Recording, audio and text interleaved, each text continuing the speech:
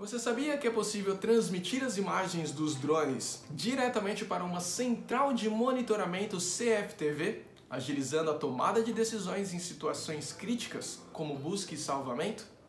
Pois é, a Drone Visual possui softwares específicos para essa finalidade, transmitindo as imagens capturadas pelo drone em campo para qualquer local do mundo, com criptografia, login e senha melhorando a comunicação das equipes e agilizando a tomada de decisões.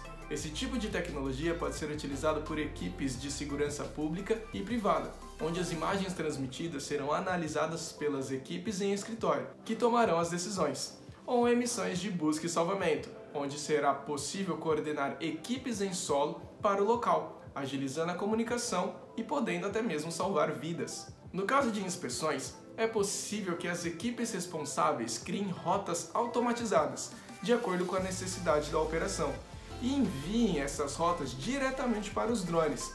Assim, o piloto em campo ficará responsável apenas de ligar o drone, iniciar o voo e ficar atento no caso de uma emergência. O software funciona também como um gerenciador de pilotos, armazenando os logs de voo e as horas de operação para gerenciar possíveis manutenções.